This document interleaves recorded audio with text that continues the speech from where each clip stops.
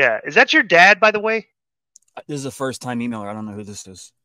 Okay, interesting. Okay, the Feeney Express. Is this somebody we might have to suspend? I don't know. Somebody trying to say right. that. Uh, we'll see what the question is here. The subject is main roster and NXT. Hi guys, first time, long time, first time, long time here. My question is for all you, including the best podcast producer around, who Conrad Thompson only wishes he could be. I don't know about the question. That. The question is, what are your thoughts on WWE's main roster guys in NXT, such as a Judgment Day?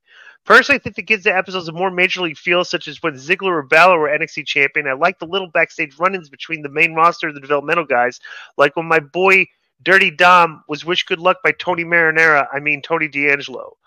That's what I think. What are your guys' thoughts? From the conductor of the Feeney Express, choo choo. okay, you know what? Um, the conductor of the Feeney Express, choo choo.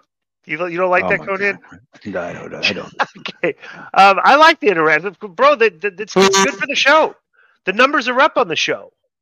You know that that show is doing better than Rampage and and Collision. You know, so it's it's, it's kind of you know it's, that's a good decision. Good. Remember when um uh what's his name um, Nick Khan had mentioned in one one of these calls that he thought that the NXT could be a, a, a successful standalone brand. And if they use some of the main roster guys, they absolutely can. And they're already outdrawing Rampage, Rampage, and Nitro and, uh, and Collision.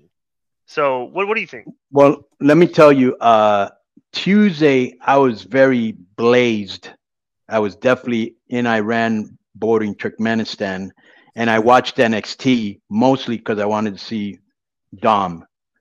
And bro, the show was good. And I remember like a couple years ago, they were doing the with the Japanese girl with the pajamas sitting on top of the locker. That made no sense. And all you know just really green workers. And it was really terrible compared to what we were doing before you know when Seth Rollins was there and all those great you know everybody was over then. They were just having great matches and great storylines and we were loving it and then they and now I watched it on Tuesday and it was good it was a good show like every show is good now you know right. not they're not all great, but they're watchable, which Raw and NXT wasn't for a long time. And bro, it just looks major league. And I go back to what I said when it first happened. I said the reason NXT is not going to beat AEW is you're not bringing enough stars or big enough stars on the show, and now they're doing it, and those are the results. You know what I'm saying? Yeah,